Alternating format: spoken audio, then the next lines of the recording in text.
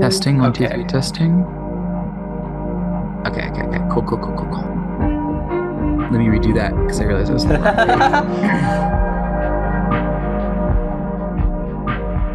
Hello, everyone. I'm Ava Hofmann, and this is Outside the Lines, a Line Rider podcast where I interview Line Rider creators and talk to them about the artistry behind their tracks. Although he has been making things in Line Rider for much longer, UTD started posting tracks onto his current YouTube channel in 2020. Since then, he has been using his highly choreographic style to create unique and expressive Line Rider narratives. UTD's work takes frequently overlooked aspects of track making, like off sled and video editing, and uses these elements to convey psychological and thematic information, such as the violent mindset of a serial killer in Cradles or the experiences of an abuse victim in Silhouette. Heavily influenced by animation, UTD's work prioritizes Line Rider as a kind of video art over the conventional expectation that a track should be entirely in engine or a single continuous piece. As a result, UTD's work frequently opens up new possibilities of expression in Line Rider, both technically and thematically. Today I'll be interviewing UTD about his latest track, Let the Bodies Hit the Floor.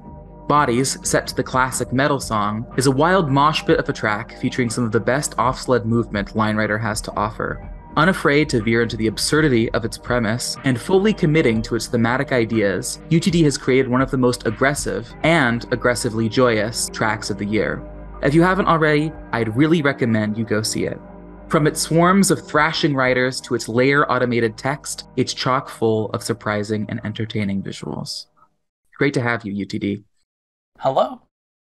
So, first off, in your own words, describe bodies. Talk a little bit about it and what you find special or interesting about it. Um. Well, bodies is a fucking shit show. it's a, it's basically like a shit post that ended up being an unironic rush of adrenaline encapsulated into a Line Rider track. Yeah, so yeah, it started off as a shit post and spiraled out from there, right? That's how you started making it? Yeah. So what happened is one day I joined the voice chat in the Line Rider Artists Collective, and I was looking for my track files, and I clicked on the track file named Bodies, and I was just like, "Oh, I remember this," and I just ended up showing it to the people in the voice chat, and they were like, "You've got to make this into a full track," and I'm just like, "I guess I could do that." What ended up happening was I ended up altering the original movement a bit because initially the falling bosses in the original would just kind of like stay stationary, but I wanted to like have the bodies flying everywhere, right? So I ended up changing the movement. The original movement I think is still available. I think I gave it to Bevibel before I changed it, so it should be archived. But from there I was just like, okay, what kind of crazy movement can I do from this point onward? What I ended up doing was I took a lot of the techniques that I did from my previous tracks, and I just kind of implemented ideas around them. Because a large bulk of my work up until that point was largely experimental. Basically just like, ooh, what what's some new ideas I can test out in Line Rider? What's something that hasn't been done in Line Rider before, right? Or something that's like original, I guess. Mm-hmm. And I think when I was making bodies, I was like, okay, I have all of these ideas and I've kind of like tried running with them in previous tracks. But now, how do I take all of these ideas and like combine them together?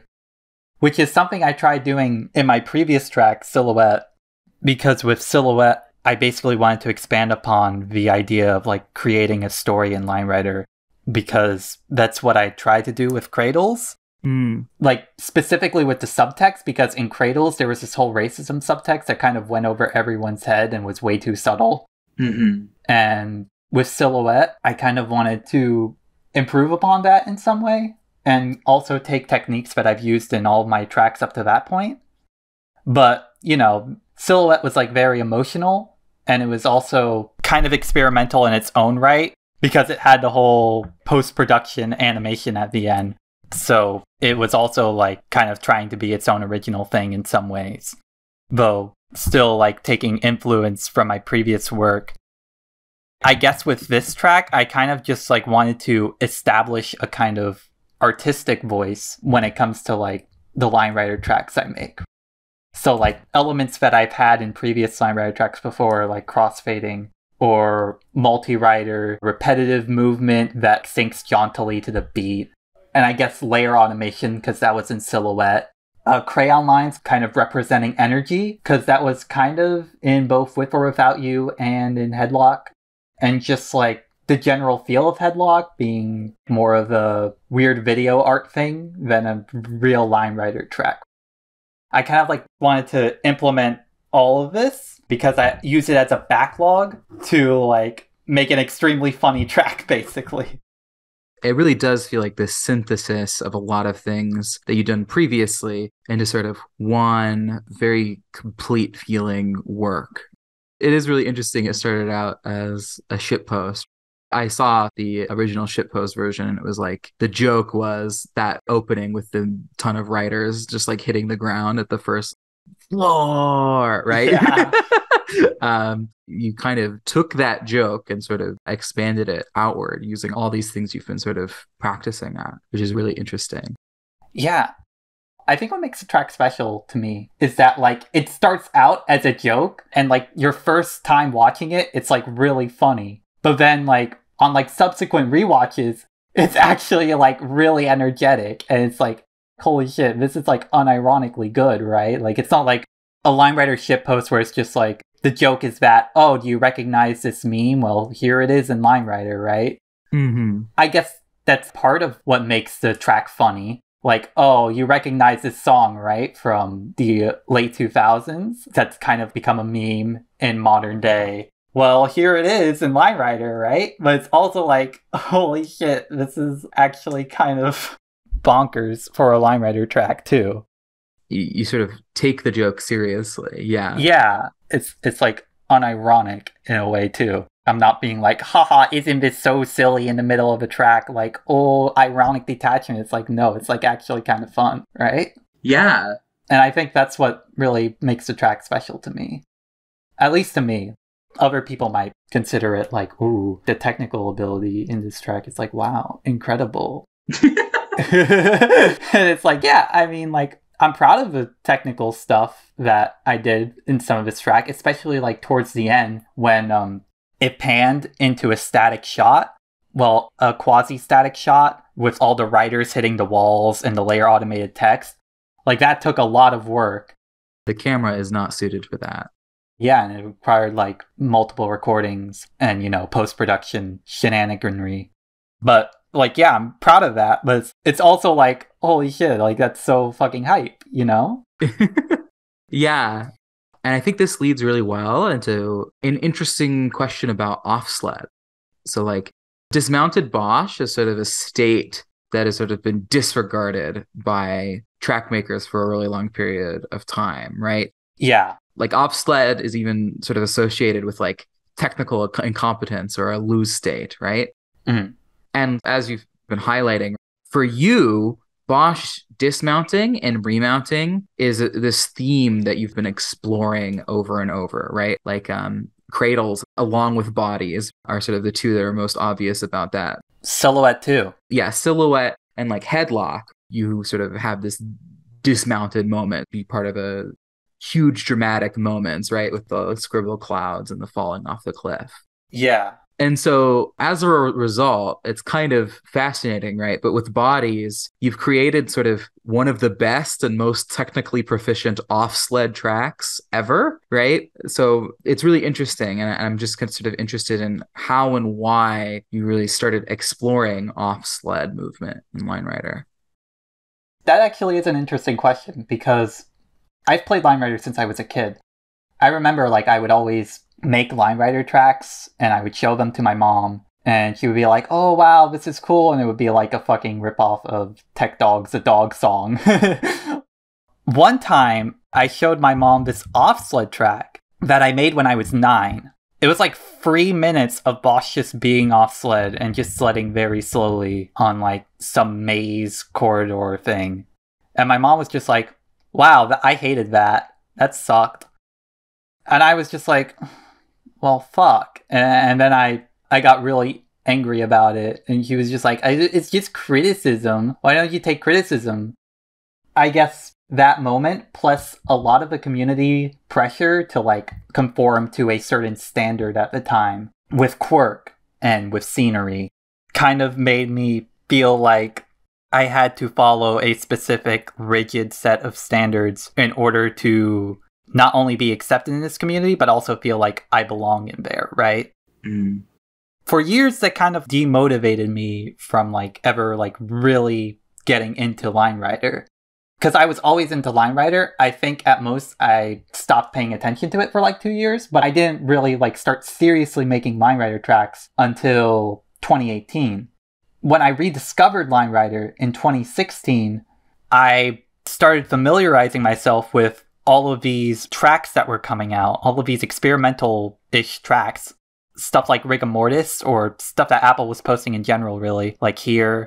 Stuff like Daisies, which was a flat sled at the time that was like extremely rare and it was actually like really good. Probably one of my favorite tracks of the 2010s. There was stuff like the, not the Gorge, uh, the Forest Under the Earth, which like tried telling a story in Line Rider that was actually really emotional and it's one of my favorite tracks of all time. But obviously, the big one here is Ragdoll, right? Mm. Because Ragdoll was an off sled track that kind of like disregarded the notion that Bosh has to stay on their sled and also like shut down that whole moment I had with my mom when I was nine about like, oh, maybe I shouldn't do off sled anymore. It's like, I could probably do anything in Line Rider. It's just the large reason why a lot of possibilities in Line Rider haven't been explored yet. It's because it's often been discouraged to do so in favor of, you know, meeting the standard.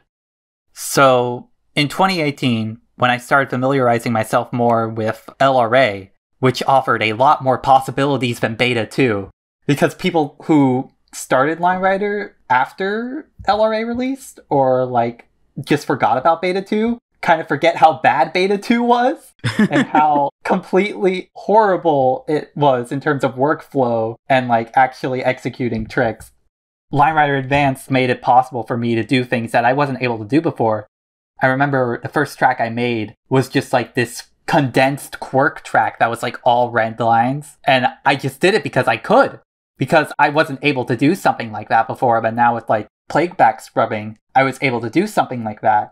And then I made something like Let Go, which was a track I made in 2018 that was this giant crayon canvas that Bosh would recycle through multiple times. And I would have never been able to do that in Beta 2 because if I were to recycle in Beta 2, I would have to place a flag and then edit the line, and then I would have to go back to the start of the track to see if it was edited in any way. And this is very unlike LRA, where I can just do life lock, adjust the line a little, and then see how the rider gets affected immediately. And I don't have to waste like probably several days just starting the track over and then trying to see if it recycles through. So I've always kind of approached LRA and then eventually .com because .com would go on to have more features that would be interesting to experiment with. I always approached these softwares with like, okay, what can I do that hasn't really been done or that I haven't been able to do personally in my childhood with Line Rider that I can do now with the advanced technology and tools. And so that kind of built up to 2020 when I made the track with or without you. That was a standard slow burn track, but I had this great idea for an ending with slow motion, right? Mm-hmm. And that ended up revolutionizing playback speed in some ways.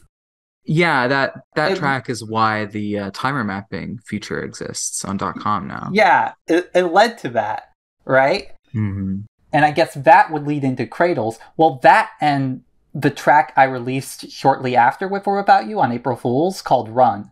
Because that was like the first time I really was just like, okay, let's really make Off Sled a feature in a track. And at first, I was just like, oh, this is a joke, right? Mm. I'm just gonna release this as a joke for April Fools because the concept of the track was like really esoteric and niche. It was just like, what if Bosh would like go off sled and just start recycling through parts of a track they've sledded through in sync to the music for the entirety of the song? And I found that to be an interesting concept, but also like at the time I was still like, hmm, does this work? Is this like proper off sled? I don't know. So it was better to like I guess, ironically detach and just consider it an April Fool's track, even though I personally find the track really good. And then both of those kind of led up to Cradles. Mm. Because after Run came out, the remounting feature got introduced, and that allowed for a lot more possibilities for me with off sled movement that I wouldn't have seen otherwise. And so that combined with playback speed and also combined with other ideas I was tinkering with at the time, like combining post production with the actual track, because post production in Line Rider up until that point had felt like it was just like, oh, you want a flashy intro? Just edit that in post production and be like, Alpha Leonis presents Resurgence, Space Beam, and then the actual track plays. Um, right. And then that video editing is it's like isolated. Yeah, it's completely isolated from the track. And it's just like, what if post production was part of the track, right? And that was kind of the big mentality I had when approaching Cradles. And so a lot of that ended up leading up to Cradles, along with other tracks I was looking at at the time, like Omniverse 2. And eventually that led to Headlock, which I was not satisfied with at first. I thought it was pretty low quality, but also it was like more experimenting with that off sled, right? Mm. that I've kind of been turned off from for a very long time, but I'm like, oh, I want to experiment more. I should experiment more with off sled. And that track ended up with the best parts of it being like the scribble section where the rider is like off sled and just bouncing off of scribble to scribble on beat, right? Yeah. And with the large Bosh coming in Crossfaded Bosh face. Yeah. Yeah. And so it's like, I guess all of this, like, mounting expectations I had on myself and, like, what people expected out of me and what I wanted to do kind of culminated in Silhouette, Mm. which was, like, a very venti track where I just, like, expressed my fears that maybe one day Line Rider will be ruined for me the same way other things in other communities have kind of been ruined for me. And that track was like very much a healing process. And then once I started working on bodies, I was once again just like, oh, this is just a funny shitpost track, right? And then like people wanted me to make it more. And so when I started making it more, I was just like, this isn't just like a funny shitpost track. This is actually like, this can actually be like really fucking good. And then what happened was I ended up taking it more seriously than a lot of other projects that I would have otherwise deemed like, oh, this is stuff that would like really impress people, right? Mm. And a lot of things happened during the making of it. But basically, when I released it, I was just like, holy crap, I'm completely satisfied with this. Well, actually, the release day was interesting because I pulled an all nighter on the track Ugh. before realizing that I had to go to a musical on the same day. So I ended up finishing the track and publishing to YouTube. And then I went to the musical and I stayed up for 36 hours or something. Oh my god. I was just completely wrecked by the end of that day. It was horrible. Yeah, oh my gosh. 36 hours. Ugh. yeah, it was horrible, but it was also like when I actually like woke up the next day and saw all the responses. I was just like, you know, this actually is pretty good. And this would be what I guess quirkers would consider like technically proficient. Mm. This would be like technically innovative in some way. But I didn't view it as that. I viewed it as like, oh, this is a funny track that I made. It's also like really energetic and like really aggressive, right? Mm. And I guess to kind of answer like what attracts me to Offsled, it's just that you can have this technically proficient nature to Line Rider, but also you can have like a whole other level of accessibility to it that you wouldn't otherwise get from like a regular quirk track, right? Mm. Because it's like when you watch bodies and you watch the movement in it, it doesn't feel like a Line Rider track. It almost at times feels like a video animation that just so happens to use like Bosh as the character being animated. Yeah. And maybe this is a good way to lead into another question, right? Which is sort of related to that movement. The energetic movement that is very like accessible. I've noticed that a few people who like aren't really like into Line Rider as much, I've shown them bodies and they really liked it, right? Yeah.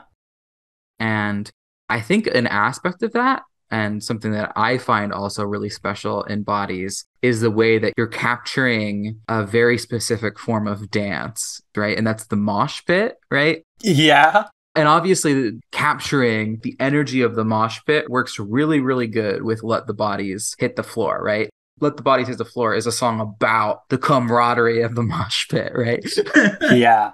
And the connection between Line Rider and dance has sort of been endlessly discussed elsewhere. But for bodies and in your other tracks, it really feels like you're creating a specific kind of choreography for your riders. And you mentioned Yes. animation just earlier. Yeah. And often this choreography, it's not like dance choreography per se, it's almost theater choreography, storytelling choreography, right? Yeah. Like the sledders attacking each other in cradles. And then the moshing in bodies is like more literally dance, but there's sort of a narrative of Bosh discovering the mosh pit in that track, right? Yeah. So, how are you thinking about the relationship between movement and storytelling in your tracks? One thing that I think is really important is like the usage of invisible layers. Because this is the thing with like a lot of quirk tracks and what I mean by a different level of accessibility, right? Because a lot of quirk tracks have a very specific aesthetic, but appears very esoteric to most people because the main focus is the lines and how they connect to Bosh and how they pull Bosh. But if you're an average person, like watching a Line Rider video, you're gonna see like a bunch of lines and then Bosh is just wiggling around like right? so the way I choreograph my riders is like I do it with the intention that I am going to make the lines invisible and that Bosh is going to be the center and forefront. If you were to look at bodies with the invisible lines on, it would actually look like complete nonsense. there would be like lines over everything, and more focus would be drawn on the lines than on Bosh. But because the lines are invisible, all the focus is drawn on Bosh's movement, and then you'll see like, oh, they're actually doing a specific dance, and they're actually making purposeful movement, right? So I guess a large part of how that relates to storytelling is it's a lot like animation because like I've had experience in animation. I've done animation before and I've had like my own creations that I've made entire stories about. But when you actually want to like make a story, you gotta like make the story. Like, what's the plot? Who are the characters? You know? Mm-hmm. A large part of animation is conveying all of that information across through the movement. So I guess in some ways, when I'm making a Line Rider track like this, where the movement is like a central part carrying the story, Mm. I often employ the same techniques that would be in animation. Like, how do I express a certain thing like I would in animation? And what kind of movement would like move the plot along? Or like, I guess in this case, add to the narrative, right? But it's also a little different because I also have to consider like, okay, this is not a full fledged cartoon, right?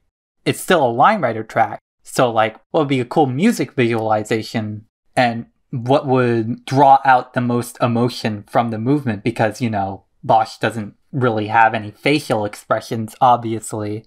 So you can't like have Bosh smile or have Bosh be scared or something like that and like show that through his face. You kind of like have to show that through the movement, Mm. which is kind of something that is encouraged in animation when it comes to like learning movement Right. or learning how to convey across emotion in a character.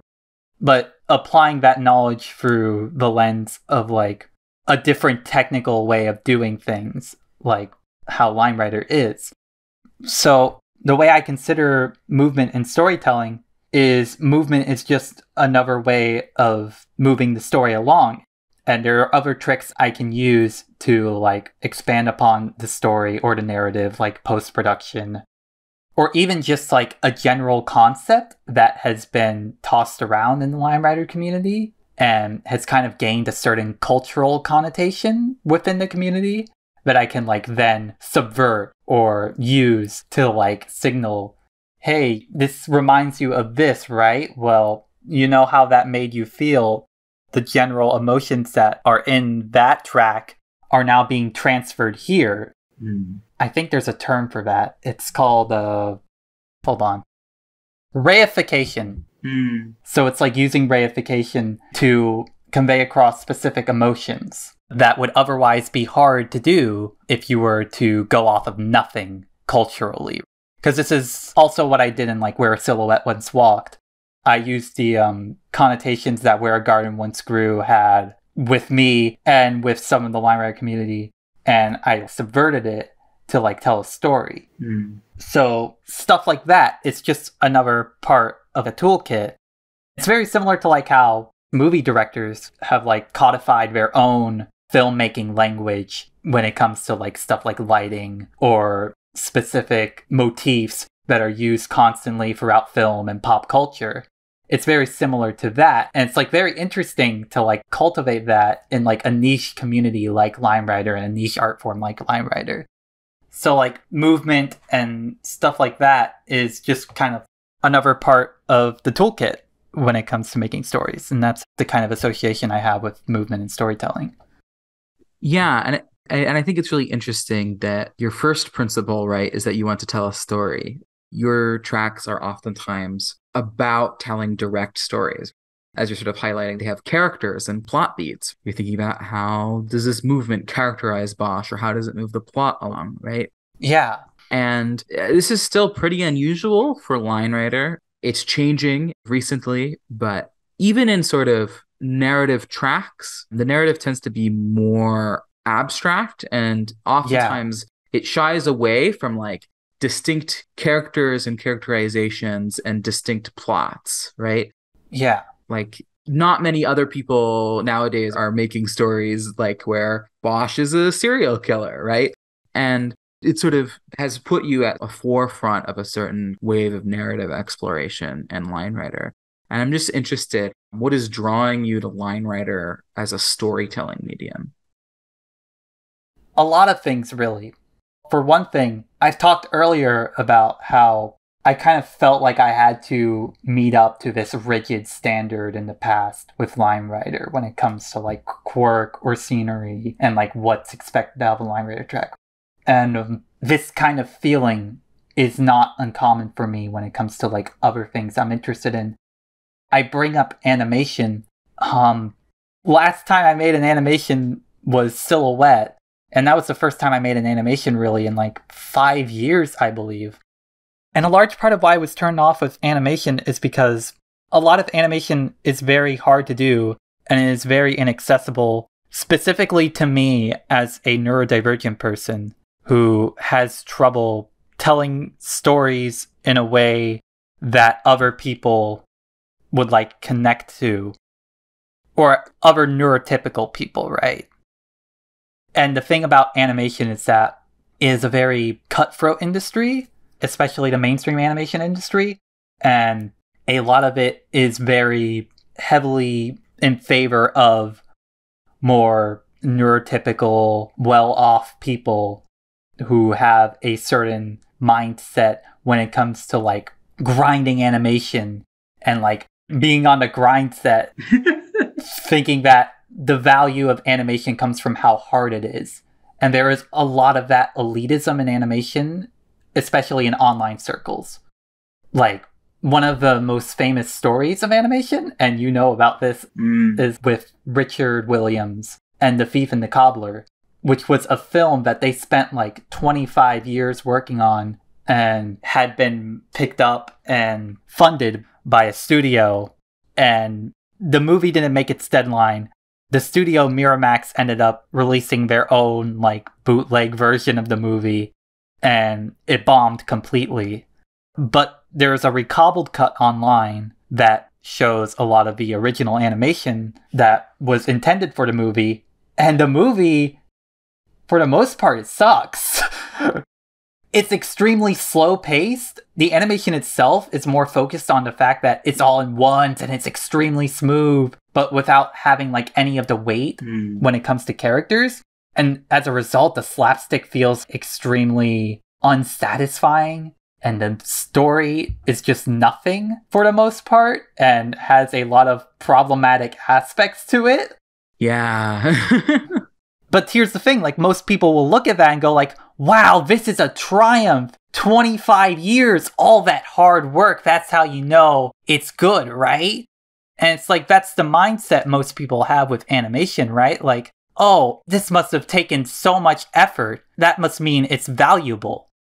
And in some sense, for the longest time, that's the value people attributed to Line Rider, right?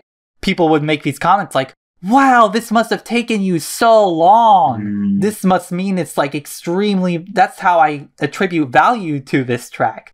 It must have taken so long. It must have taken years to do. But obviously, how hard something is, is not what makes an art medium special, right? It's like the ability to tell stories and the ability to connect to other people. But this whole, I guess Rabid calls it gamification, which is a pretty good term to describe what happens to a lot of industries under capitalism in general, Mm. is that people associate hard work with value instead of like personal connection or the emotion that they felt. And I guess what kind of draws me to Line Rider is that it's like a new art form. And so, in a way, it's like kind of a way to break away from that. It's like people don't look at bodies and think, wow, this must have taken so long to make. Like, it took two months to make, hmm but that's not what people like about it. What people like about it is like, holy shit, this is fucking bonkers, right? This is unhinged the way the energy is captured in the song is the appeal of it and that's the value people attribute to it Mm. and that's what i want i want people to look at art not from the perspective of how hard it was to do or how long it took to do but like what it is and what it means to them and I guess also what draws Line Rider as a storytelling medium to me is that it's like a chance to like kind of cultivate a kind of neurodivergent art medium Mm. because the thing is a lot of autism representation in general is either completely obscured as in it's never really confirmed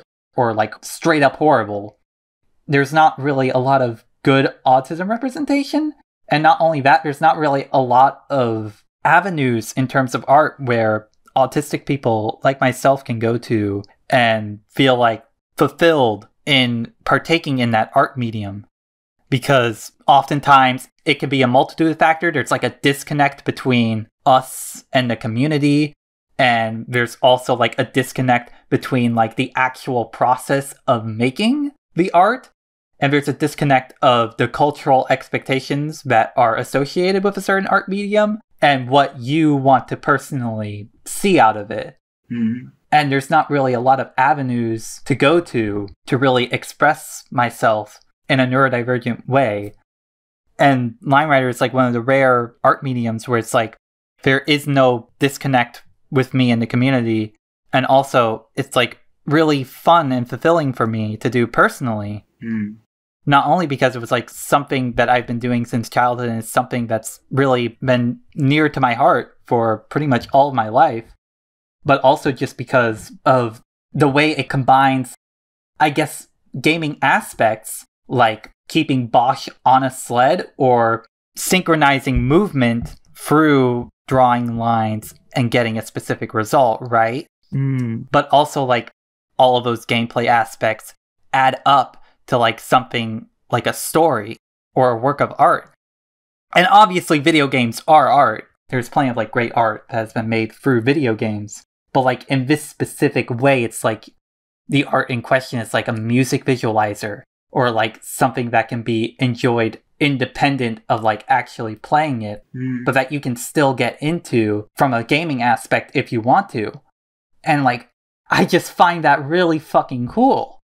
And I want to like expand upon that. I want to grow it, not in a way that it's like more people are aware about it or it gets more popular, but like more in a sense like I want to grow the cultural backbone of this community and like offer more possibilities for the art medium.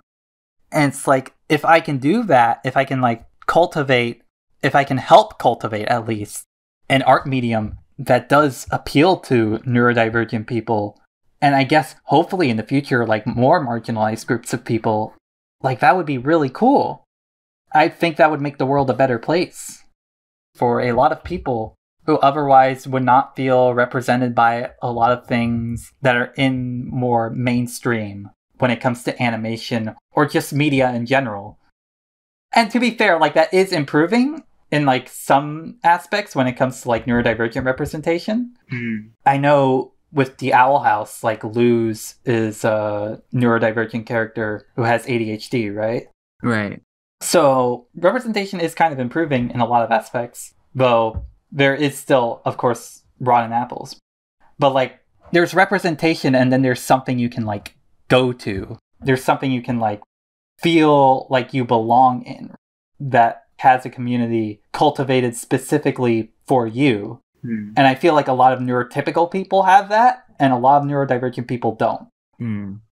And so I think by making Line Rider this neurodivergent, or like making Line Rider, in part at least, a neurodivergent art medium for people to explore, it would help me specifically, but it would also help others feel like they are valued and that they matter Mm.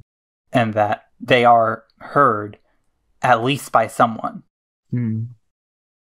So that's what draws me to Line Rider as a way to tell stories.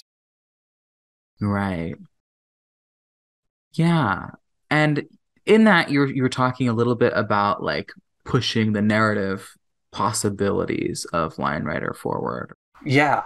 And you've been doing that in like a variety of, ways, right? Yeah. We've talked a little bit about like the movement and the way you approach storytelling.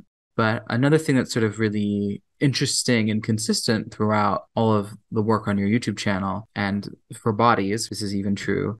The video for bodies is like it's only a little bit edited. There's like a flashback scene, some editing involving line color, and a few very subtle cuts, right? Yeah. And yet the choice to edit the actual track visuals at all is still very rare in Line Rider.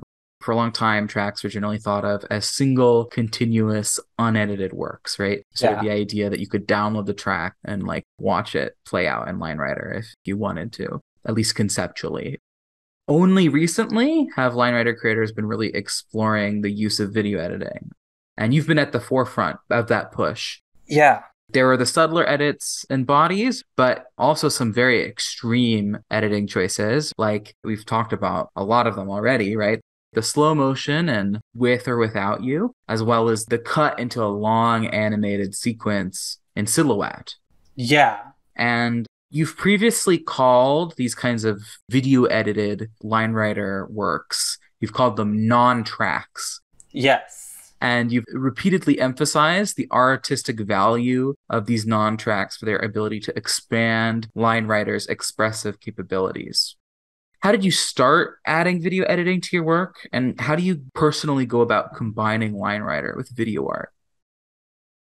Well, before Line Rider, I was part of a community that I don't really want to get into or ever associate with again. But I bring it up because in that community, I kind of learned how to video edit with Movie Maker at first, and then eventually into Sony Vegas. I learned like video editing tricks and basically like how to make a standard YouTube video, right? And when I left that community and started getting more into Line Rider, I started thinking like I have all these video editing tools at my disposal, but I don't really have any video essay I really want to do, or I don't really want to make a standard YouTube video. At the time, I didn't even really want to make any more YouTube videos, honestly. I just kind of wanted to focus on my job. And that changed when uh, COVID hit, and I couldn't focus on my job. So at first, I just sprinkled in a little bit of video editing, and that was with or without you. And also run, because the video editing and run was just I would speed up or slow down the footage whenever it would sync. But Cradles was really the turning point because it was just like, okay, I have all these tools at my disposal, and also Line Rider does have this whole history when it comes to like post production. You've kind of like touched upon this in your Animoya 2 track Mm. with introductions and stuff like that. So, what if I took all these techniques that I've learned when it comes to video editing and combined it with Line Rider, right? Because I wanted to feel like that was useful for something, but also because once I did do that, it did expand the expressive possibilities with Line Rider. So, the way I go about conceptualizing a Line Rider track is basically just if I listen to a song and I want to make a Line Rider track to it, I'll just start thinking of strong narrative ideas that like the song brings out of me or like that I associate with certain lyrics of the song. These will generally be like isolated ideas Mm-hmm. at specific parts of a song. And then when I actually start making the track, because this is how it worked for bodies, I'm just like, okay, now what do I do for this part? How do I connect it? How do I make this complete? Mm. And I guess a large part of post production is just knowing that that possibility is there, that it is something I can just resort to, and it's something convenient, and it's something I have experience in, and it's something that's fun to do if I want to like convey across a specific narrative element. So it's really just taking stuff that I do have skill in and just applying it in a way where I can express myself fully. And that's kind of the way I approach it. I definitely am not the first to do this, like Dangerous Cargo. And also, there have been tracks from even back in the day, like Shadow Ninja's Mario level. And even Tech Dog experimented with it in some Unbound releases. Mm. There has been experimentation with it in the past, but it's like it hasn't really been generally accepted as like a major part of the Line Rider community, right? Mm. Because more people were either like, okay, the major parts are scenery, or you're a quirker, or you're a noob, right? Right. So I guess this is kind of something I alluded to in my Cradles making a video, Mm. but I guess the main reason why I really push video editing and non tracks in general is because I want people to know that there's more than just quirk and scenery when it comes to ways to approaching Line Rider. Like you don't just have to be a quirker or a scener. You can like make it a multimedia project, like in Silhouette, where it's a Line Rider track that leads into an animation, right? Mm. it's like different art mediums combined into one. And you can also like employ video editing and you can combine it with the track. It doesn't have to be like a binary of quirk and scenery and that's it. There are probably an infinite amount of ways to approaching Line Rider and post production, non tracks, implementing video editing is just one of them, and one that I find to be personally very fun and fulfilling. Yeah. For a lot of the things we've been talking about, 2020 was a really important year in this shift. And you're emphasizing all of these elements of your track making style. I have watched some of your older 2018 tracks that are preserved on the Line Rider archive. And these older tracks are definitely Different. they're more conventional, right? Yeah. Than with or without you and after. And it makes a lot of sense why with or without you is sort of the first video on your current YouTube channel. Yeah. And it seems to be, in some sense, a departure from your previous work. What do you think prompted this sort of change in your style? So, what prompted this change is like, it was fun at first, right? Like exploring Line Rider Advanced and like all the possibilities I can never do as a child, all the quirk, all these weird ideas that I would want to like implement in Line Rider. It's like, wow, I can finally do all this now. But after a while, it's like, okay, now what? Mm-hmm. After a while, like making conventional tracks just got kind of boring. I mean, With or Without You is still like a mostly conventional track outside of the ending, but it's like that took several months to make, and a large part of it was just like, okay, I'm gonna draw these squiggly lines throughout the entire thing, and I'm just gonna have to keep drawing more and more of them as the rider speeds up with the song. And it's just like, I wanna do something more with the medium, right? Line Rider, after a while, became like, what kind of funny challenges can I conceptualize and try to beat in some ways? Like, just a random challenge, like, can I have a track that Bosh rides that I could then get him to recycle on beat to the music off sled? And that was basically run. Right. But at the same time, I kind of wanted it to be more than that, especially because after Omniverse 2 released, that was the moment where I was like, I know Line Rider can be more. The potential is there. Omniverse 2 showed that entire potential, right? And it's right there. It's just like, how do I realize it? And that culminated in Cradles. Like, it really was the turning point because that track took two weeks to make. And when it released, it kind of blew up and also around this time, like it wasn't just me, the wider Line Rider community as a whole was like becoming extremely experimental and a lot of innovation was going on around the same time that Cradles was going on. Like two days later, the Devourer of Gods released that kind of like killed Quirk. because most Quirkers regard it as like the best Quirk track and it uses entirely invisibility mods and basically the whole gamification mindset that a lot of Quirk was rooted in back then, like, oh, you have to have Bosh be on sled and you can't use any hacks. It's just like, no, who cares anymore? And also around the same time, a good chunk of the Geometry Dash community was getting into Line Rider. Mm. And this would lead to tracks like You Are the Sunset by Jade and Freaks, which would go on to start your Line Rider career. Yeah. as you've talked about. and even earlier on in that year, there were tracks like I Can't Ride These Lines Without You that was like the main turning point when it came to storytelling in Line Rider in general. Even though at the time I didn't get it, I feel bad saying that, but like at the time I did not understand what story was trying to be said with I Can't Ride These Lines Without You. I mm-hmm. didn't really see it. And then Bevibel's video essay kind of came out. It's like, wow, that really is very nuanced. and like for like two years, I was just like, I don't get it. Which is why I, I, didn't even mention it in my making of Cradles video when it came to like talking about tracks that had a story within them. Because it's like, is there a story here? Am I not getting something? that track is still great for the record. No shade of that track. I really love that track. It's willfully subtle, right? Yeah. It's supposed to kind of be hard to get. Yeah. Yeah. That's something that Bevibel really went into in their video essay. But it's like that track was also really important because it got people to think what the emotional power of Line Rider could be. Mm. So all of this that was going on at the time, combined with my own exploration of what I want out of Line Rider and my own style, led up to me eventually just changing my style over time and changing what I prioritized in Line Rider the most. And I guess since Cradles and since 2020, I've just been like diving deep into it. Mm.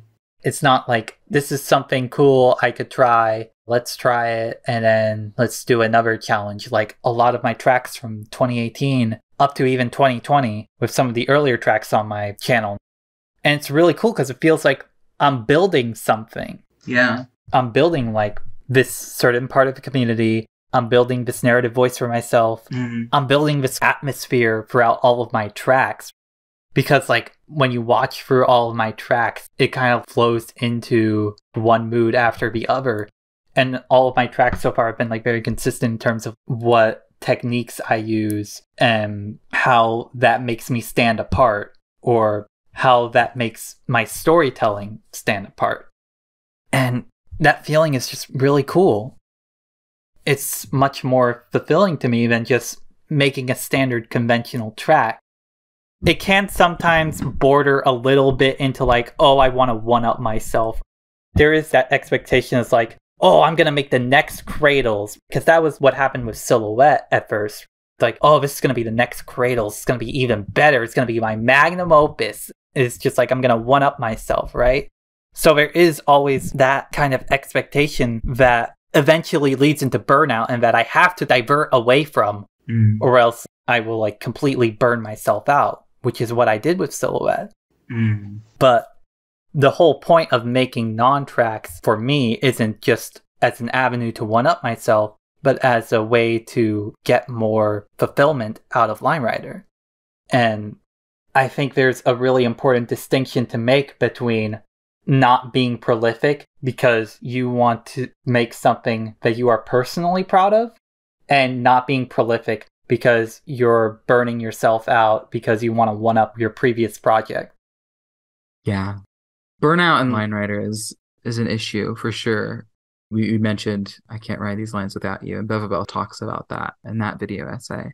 And speaking of other tracks, you've mentioned other tracks and Line Rider creators that have been influencing your work. I'm interested to sort of hear uh, about how your influences have affected the tracks that you've made, especially with bodies. Well, the influences for bodies are. I mean, the way I look at a lot of my influences is like it really depends on like what I'm taking influence from. Because sometimes a track will have a certain idea that I don't think capitalizes on it in the way that I would want it to. Like not that it did a bad job at like executing the idea, but it's just like, oh, this idea would be really cool for this other concept. And I would want to really take advantage of that to express this other idea, right? I do that a lot. Yeah. In most situations, it's like that. Sometimes I do the exact opposite to convey across a point. This is what I did with Silhouette. One of the anti inspirations for Silhouette was You Are the Sunset. And You Are the Sunset is most well known for like having movement to convey across a story, like having this rough, unkiltered movement to convey across these very powerful emotions. And for the beginning part of Silhouette, I wanted this extremely smooth movement that like didn't really convey across any emotional power and the attempts at doing so like with Cramules would just kind of fall flat right Mm. and so i kind of like modeled the beginning of silhouette's movement as like the opposite of what you are the sunset did with its movement to like convey across a sense of nothingness or like a sense of emptiness and then there's influences where I literally just take the entire track and recontextualize it, like what I did for Where a Garden Once Grew. Mm. And Where a Garden Once Grew specifically is a track that helped me through an existential crisis I was going through in 2021. Because the idea that all things fade and eventually your life and even the knowledge of your existence will fade away from collective consciousness is something that would actually keep me up. Like, I would not be able to sleep some nights because I was constantly worrying about that. And by the time I released Silhouette, I was just like, okay, I got this track out there. And then where a garden once grew came back into my mind. It's like, this thing is going to fade away eventually. And when that thought came across my mind, it was the first time it's like, that's not a bad thing.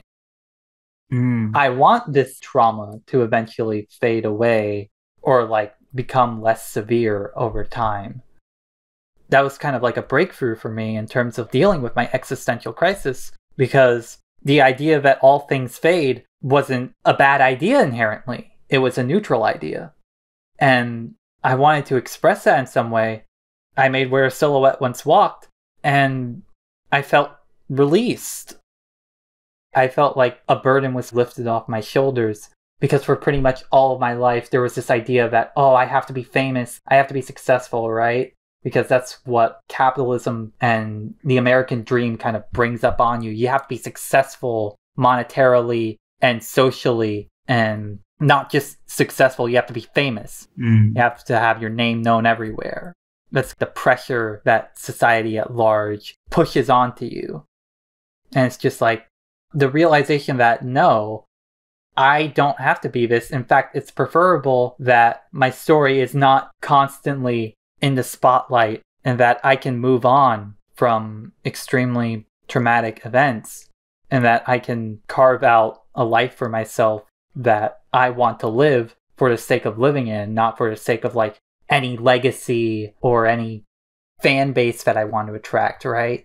Mm. I can just live my life for the sake of living it and associate with the people I want to associate with and have the experiences I want to experience. Like, that idea was unfortunately completely foreign to me for most of my life. And once I realized it, life didn't seem so scary anymore. I mean, obviously, there's still a lot of scary aspects about the world today, Oh yeah. but like, you know, on an existential level, it's not as scary. Mm. It's kind of beautiful in a sense. You know what I mean? yeah, I I do.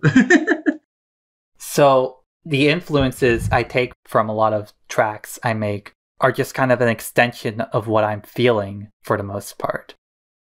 And sometimes what I feel from a track will be moderate, and sometimes what I feel from a track will impact my life in an extremely positive way that I would have never anticipated, especially as a kid, to come from a line rider track. Like a line rider track positively impacting my life? How? And it's just like, it's because line rider is an art medium and line rider has cultivated this community. And the fact that it can affect me in this way, the fact that it has that potential, if I can realize that potential even further, and if the rest of the community can realize that potential further, that would be amazing. Yeah. With bodies, now that it's out in the world, how are you feeling about it? How do you make sense of it as this thing that you've made? The thing about things I make, this is something I decided for myself two years ago when I was starting to really shift my Line Rider style, when I was starting to really get primarily into Line Rider. Like for the past several years before that point, like before 2020, a lot of the videos I made were videos that I would go on to regret, videos that I would go on to repress, videos that I would not want any more association with, videos that I would not even want to watch anymore. And I hated it. I hated that the stuff I was doing was not something I would want to come back to because it was too painful to do so. And so, come 2020, I was just like, I'm done. I'm not pumping out videos just for the sake of someone else or for the validation of a community, right?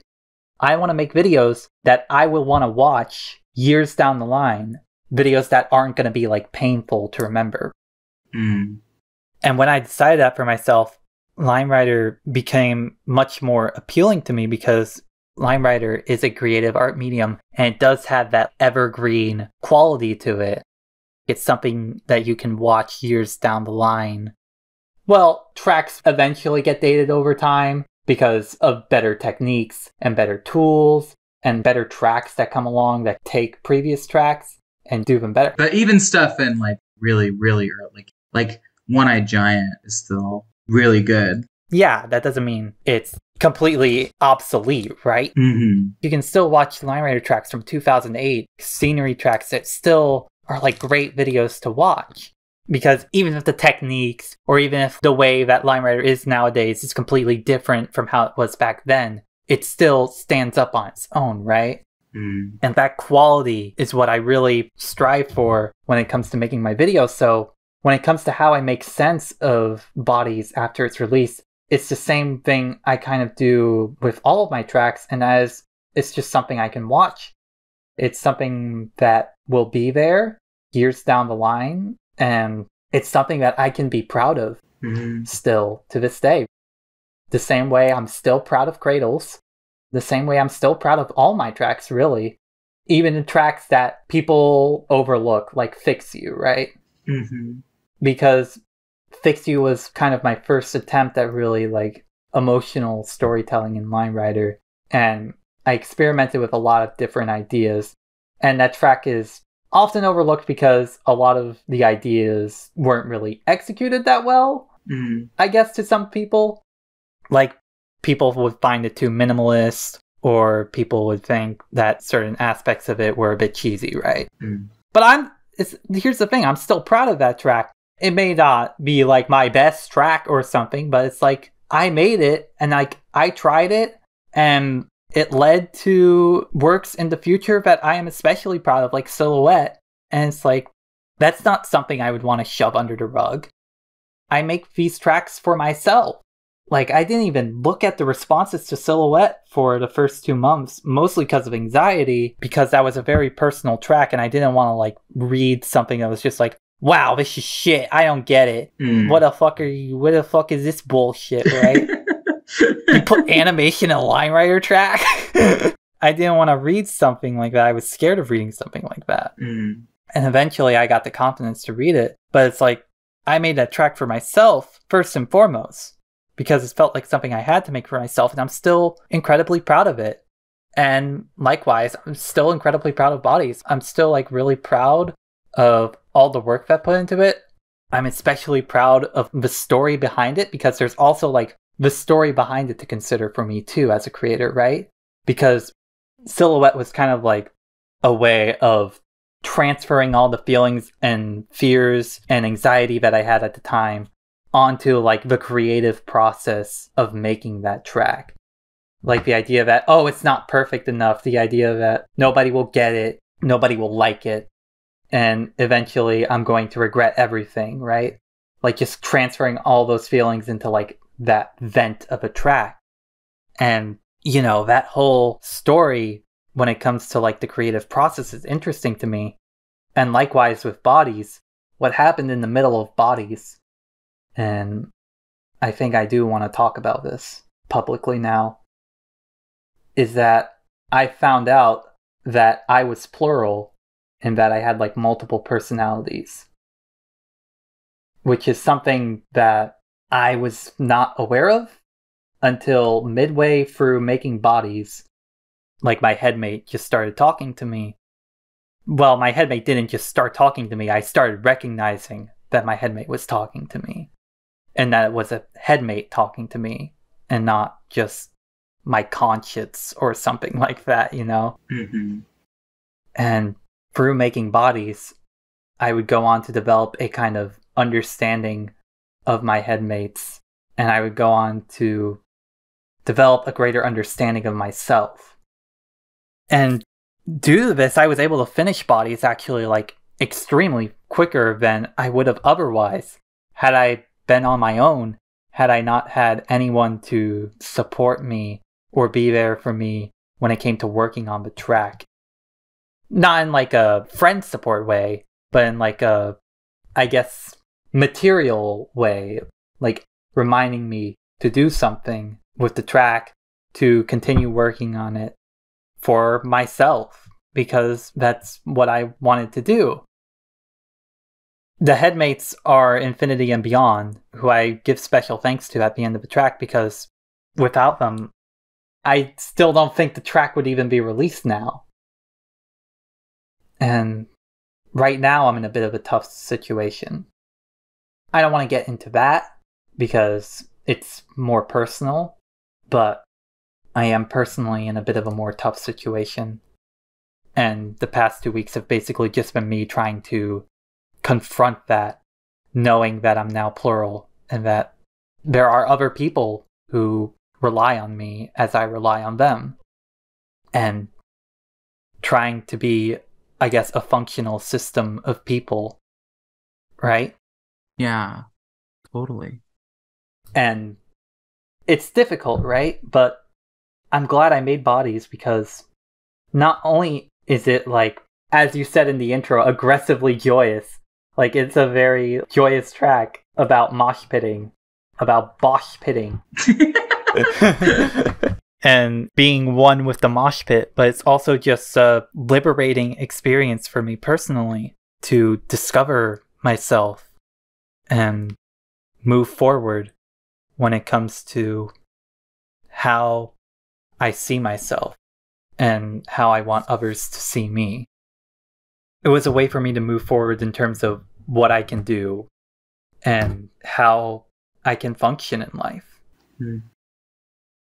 Like a healthy way to function in life. There's a pathway to it, and Bodies was like a joyous kind of vision of that, Mm. like what could be. So yeah, there's a lot I make out of bodies, the same way there's a lot I make out of all of my other tracks, really. And, you know, different tracks to me mean different things to me because they're all different experiences at the end of the day. Mm. And I think that's what makes art so gratifying to me personally is the experiences that I have with making art and the stories I associate with the art that I make and what it means to me personally. That it might not mean to anyone else. It might only mean this way to me specifically. Like, nobody is gonna look at bodies and probably think of it like, oh, this was a self discovery thing when it came to plurality. I mean, maybe now, now that I've talked about it, but like nobody's gonna like look at it isolated and think, oh yeah, this is about UTD's self-discovery with plurality. Mhm. That'll be only my interpretation, but it's something special to me, and it's nice to have that. Absolutely. What do you hope for from the future, either in Line Rider or in life or in both? Well, I mean, really, the main thing when it comes to Line Rider, I just hope it continues going down the direction it's going down right now. Because the Line Rider community, especially in the past couple of months, has become like extremely experimental and more focused on like the storytelling capacities of Line Rider and the emotional capacity of Line Rider. Like I've been really digging a lot of Instant Flare's newest stuff. Mm. Especially with their exploration into like dreamscapes and nightmares, like with Fever Dream and I Wish I Could. Mm. I've been really digging that. And you know, tracks like Mount Erie. Yeah. just completely experimental yet emotional and I guess exciting way of looking at things in this burgeoning new art medium. It's like, yes, I want more of that. I want to see more of that. That shit's cool. Obviously, like people can do whatever they want in Line Rider. Like if they want to do like quirk or if they want to do scenery, I'm not gonna like be like, oh, you can't do that, right? you can't do that. It's outdated. You gotta get with the times. Like I always will encourage people to do whatever they want with Line Rider, Mm. unless it's like actively harmful, obviously. Right. But you know, I want more accessibility with Line Rider, and I guess in many senses, I want the exact same thing for a lot of other niche online communities of sorts that are not as mature as Line Rider and are still stuck in the whole gamification mindset that a lot of the early Line Rider community was kind of stuck in and that kind of kneecapped a lot of the potential growth and a lot of the potential accessibility that Line Rider could have had back then. Mm. Because there's a lot of niche online communities that fall into the trap of like, oh, there's this objective standard and we're going to impose it on everyone. And if you don't do this, you're not valued in this community. Like perhaps the most prominent example is Geometry Dash. I've never played Geometry Dash, but I've definitely been aware of communities like it with its whole rating system and how levels are judged extremely harshly, how people get harassment just for making a level they don't like because they view art as an objective kind of thing instead of something that is more subjective. And as a result, they harshly impose what they consider common sense standards onto others who don't view Geometry Dash the way that they do. And that's extremely common in a lot of niche online communities that are specifically like gamer centric, that are populated by a lot of bored teenagers, as Rabbit described in their gamification video. And so I just kind of hope that that gamification mindset, the whole objectifying art in a way, that mindset just one day goes extinct. I mean, obviously that mindset will never go away, but like stop being as prominent, right? Mm. Where the norm is more like what Line Rider is doing right now, where the norm is communities that are more welcoming and accepting of novel ideas and don't judge something based on how hard it was to work on something or the technical ability of the creator, right? Mhm. Like they judge it more on how it makes them feel personally and how they can add more accessibility to other people who might not otherwise be welcomed in the community. And when it comes to my life, I just kind of hope to get out of the current situation I'm in right now, honestly. yeah. But like long term, when it comes to what I want to do with my life, right? Like, what do you want to do with your life? Mm, what do you want to do? And it's like, at this point in time, I am 21 and I have no fucking idea what I want to do with my life, honestly. It's like, I have plenty of avenues to go down. There are plenty of possibilities, but when it comes to, like, oh, what's the main thing you want to do? It's like, I don't have an answer, and I honestly don't think there is a main thing I want to do other than just live life. Sometimes I want to do one thing, sometimes I want to do another thing. And I don't think there's anything wrong with that. Inherently, it's just that under capitalism, right? It's just like oh, you have to have this one thing that you do all your life and then you retire. Mm. And that's how it works. But that just sounds incredibly debilitating to think about. Like just one thing, that's it? I mean, I have lots of interests. There are lots of things I want to do. So I guess the plan for my life as a whole is that I have no plan, right? Right. The main thing I want out of my life is to feel like I've lived a life that I can be proud of. And with Line Rider, it just feels like one more step to achieving that. And I guess the main thing is that I hope one day I can feel free to talk about all of my interests and all of my hyperfixations with like a regular person.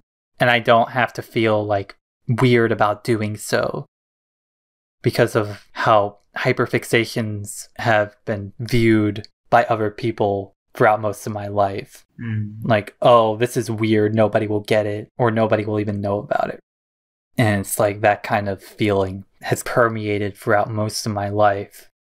Like, people won't take my hyperfixation seriously. They're like, who gives a shit? This is just silly, right? Mm. And I just want to get to a point one day where I don't have to feel like that's the case whenever I talk about something like Line Rider or any of the other interests that I have, right? hmm And I also want to make it so that I also don't have to worry about whether or not I want to introduce people to the community around a lot of the interests that I have. Because sometimes I'll worry about whether or not people will get my hyperfixation. And sometimes I'll worry about, oh shit, the community around this kind of thing sucks. And I hate it. And I don't want anyone to join the community. I guess that's the main thing that I would want out of Line Rider, out of my life, is just to be free to express myself without it being traumatic, right? Yeah. I want to feel free to express myself in a way where I can feel like I am worth something. Yeah. And I guess that's basically it. Like, what else do you want out of life, really? I mean, aside from the world not being a piece of shit, but. yeah, you know what I mean.